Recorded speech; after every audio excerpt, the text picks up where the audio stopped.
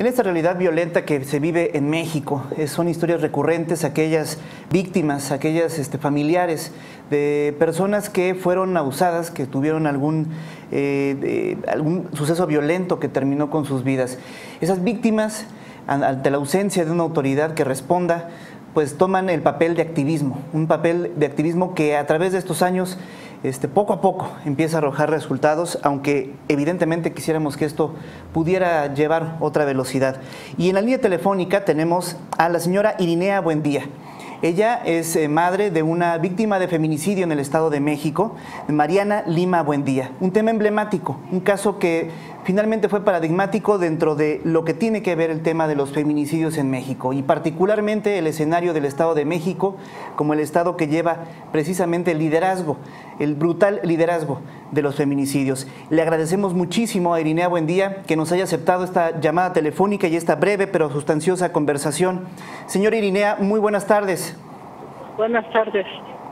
Señor Irinea, este, pues le agradecemos mucho este contacto telefónico. Está usted de visita en Guanajuato, ¿verdad? Sí, así es. Estoy de visita aquí invitada por la licenciada Giovanna. Giovanna Rocha Cano, en este momento regidora y virtual candidata a diputada local por el partido Morena. Este, señor Irinea, pues eh, nos parecería muy interesante, Guanajuato comparte una cierta realidad con el Estado de México en los casos de violencia contra la mujer y el feminicidio.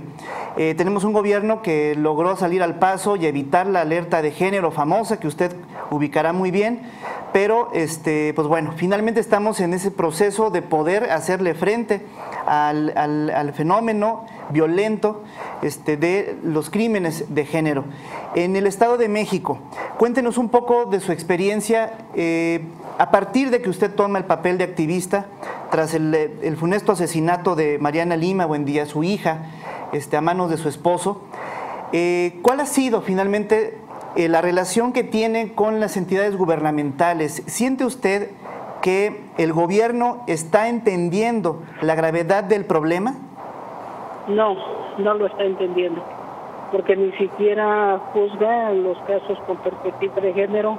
En la primera denuncia que nosotras hacemos allá en el Estado de México con casos que nos buscan las madres de víctimas de en la primera denuncia que se hace, desgraciadamente, no, no es tomada en cuenta como debe de ser. Eh, pierden todos los elementos de prueba, eh, las confunden, este, siendo mujeres, las confunden con hombres.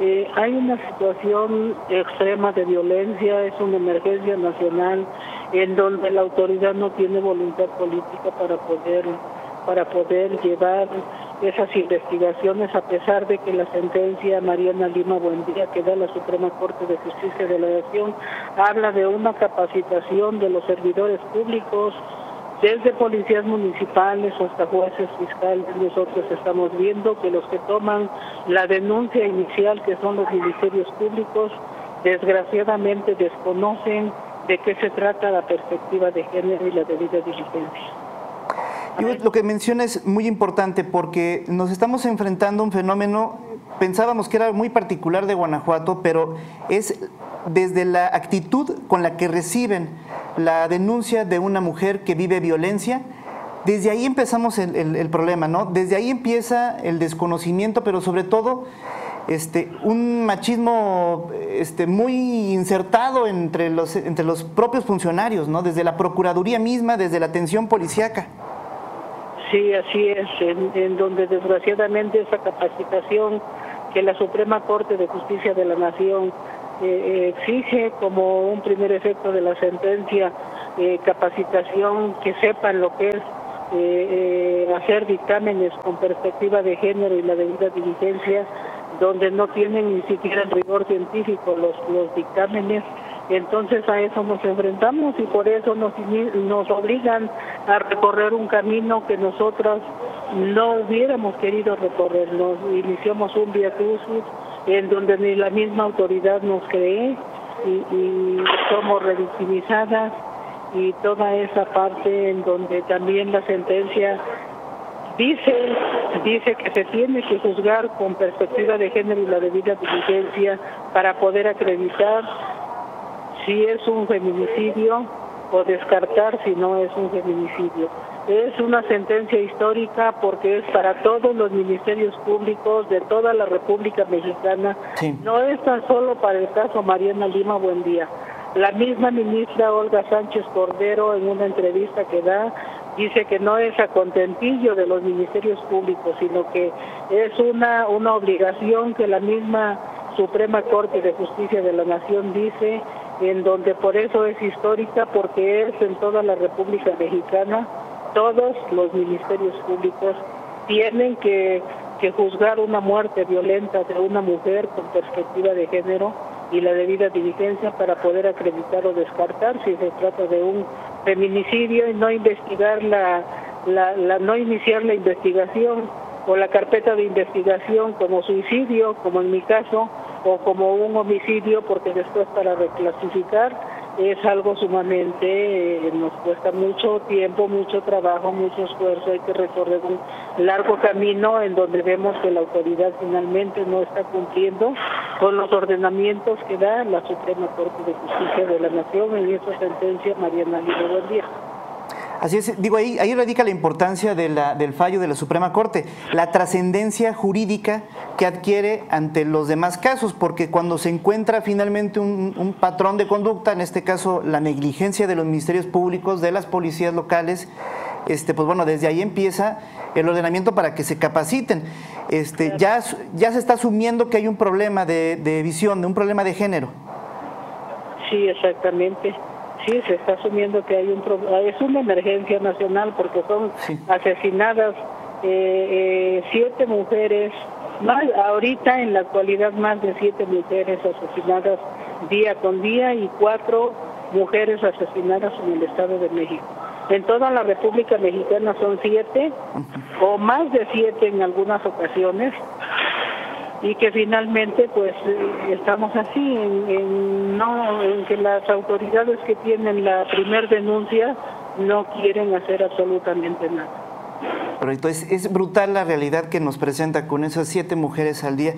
Eh, bueno, hay una parte importante, aparte del el fallo de la Suprema Corte, dentro de este, este problema de los feminicidios, eh, hay una, vamos, tuvo mucha relevancia una herramienta llamada alerta de género. Eh, aquí hay una, cuestión importantísima que le quiero preguntar, porque en Guanajuato se buscó por todos los medios rechazar esa medida. Y en el Estado de México, Erubiel Ávila, el gobernador, la asumió como una aceptación tácita de que había un problema en el Estado de México, así que trató más bien de capitalizar el tema y pedir pedir la alerta de género. Yo le quiero preguntar, para los guanajuatenses que pues, esperaban que se emitiera o no una alerta de género, en el caso del Estado de México, ¿usted ha habido un cambio sustancial a partir de que el gobernador Erubiel Ávila acepta la alerta de género como mecanismo? Bueno, es que allí se declara nada más en 11 municipios, en donde esos 11 municipios ni siquiera han identificado los lugares de riesgo en donde las mujeres son asesinadas, en donde son aventadas a canales, tiradas en la basura, despartizadas, quemadas, eh, dejadas en los basureros, pero los, los lugares de riesgo la autoridad ni siquiera los ha identificado.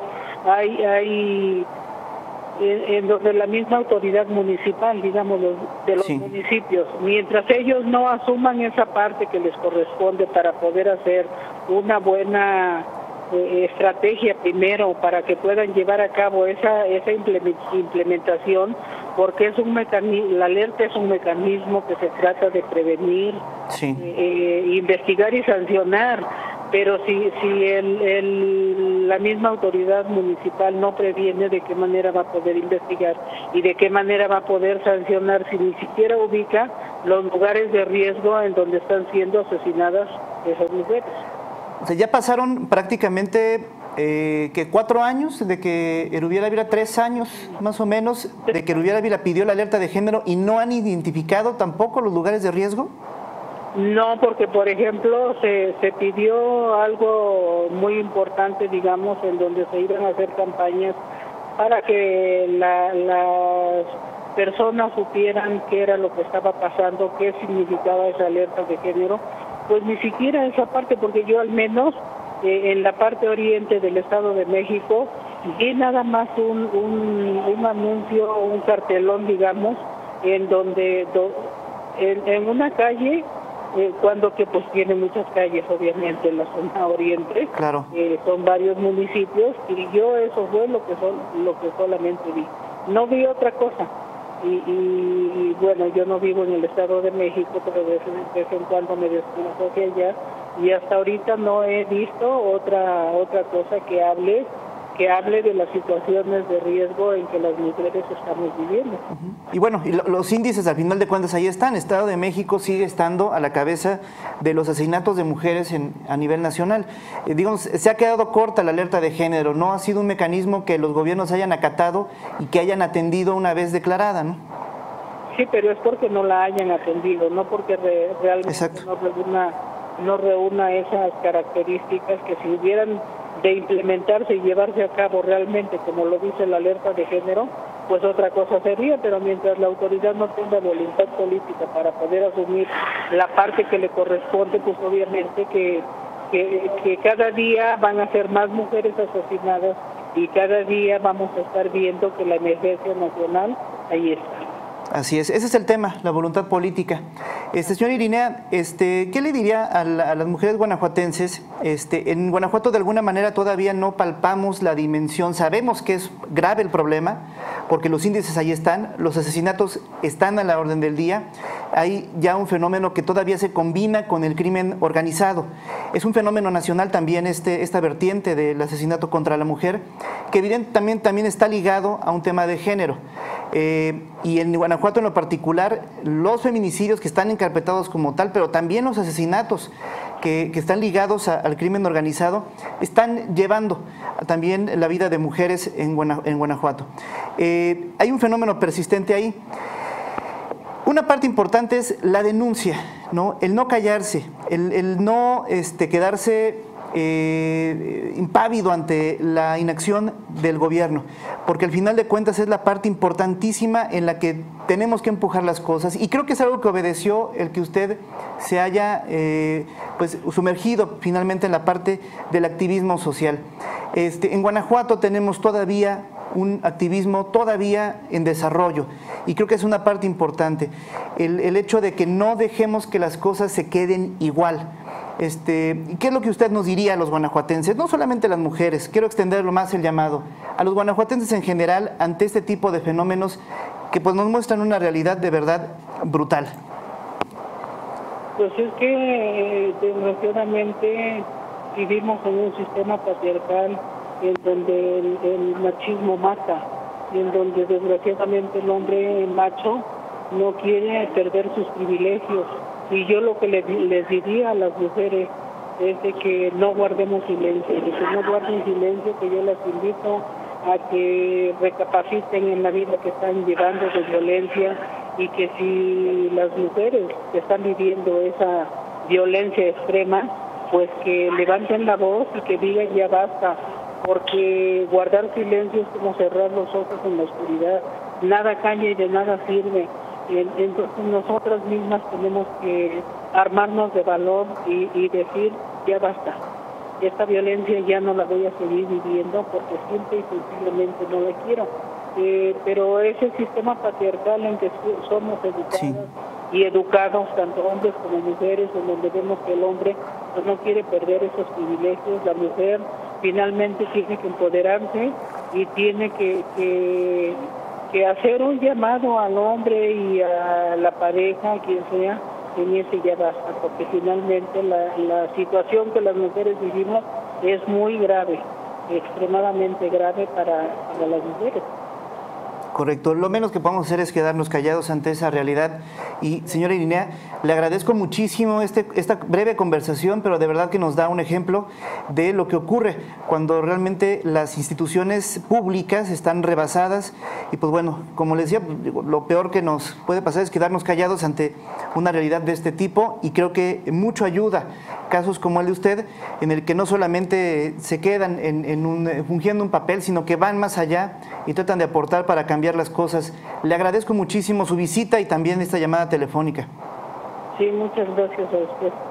Ahí está. Bonita tarde. Muy buena tarde. Irinea, buen día. Activista, madre de Mariana Lima, buen día, joven que fue asesinada por su esposo, un policía judicial en el Estado de México, un caso que escaló hasta la Suprema Corte de Justicia de la Nación debido precisamente a las negligencias, omisiones e incluso este, actos irregulares de toda la cadena que se encarga precisamente de atender este tipo de crímenes una realidad lacerante, pero más lacerante aún que esas instituciones no actúen en consecuencia. Y es algo que aquí en Zona Franca le hemos llevado un poco de la realidad que vive Guanajuato, pero que es una realidad compartida desafortunadamente en varios estados del país. Volvemos, vamos a unos mensajes.